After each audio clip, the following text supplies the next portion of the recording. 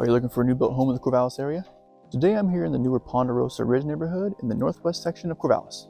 Hey, I'm Tyler Thomas. I'm a realtor here in the Mid-Willamette Valley. This home behind me is the 1898 floor plan by Holt Homes. It's a three bed, two and a half bath, 1,898 square feet. Let's go ahead and take a look.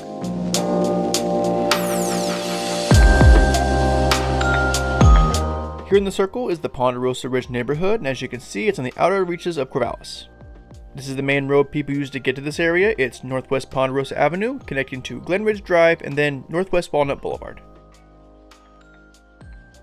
The new starting price for this home is $616,864. A big perk for this area, and especially this house right here being so close, is the MLK Park with many walking trails, the dog park, and it's actually slated to hopefully in the near future, when funding happens, get a new overhaul, which I'm excited for.